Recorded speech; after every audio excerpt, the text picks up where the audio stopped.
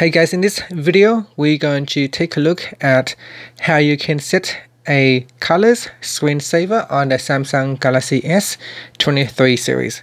First tap on the home button to go back to the home screen. From the home screen, swipe down at the top and then tap on the settings icon. In the settings page, go down and tap on display. Then scroll down and tap on screensaver in here, select colors. Then you can tap on the preview button to preview your colors screensaver.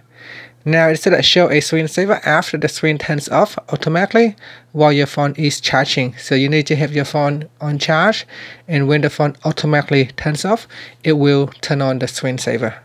So this is what it looks like when you are uh, in a screensaver mode so the colors changes on the screen.